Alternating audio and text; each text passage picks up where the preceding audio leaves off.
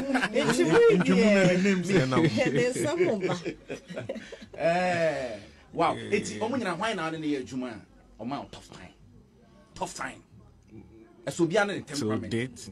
Okay, Yeah. no, I mean at some point I wasn't really working. Let me see. Mm, challenge. I think maybe uh, when it comes to the album, I didn't. I feel like there's a challenge because the album is very particular. So Mr. Eazi album, yeah, very you're taking a lot of time like working on the album because was say part out really good. So from producing on some of the on the, the, songs and also selecting what song should be on the album and also choosing what beat he should sing on and all that.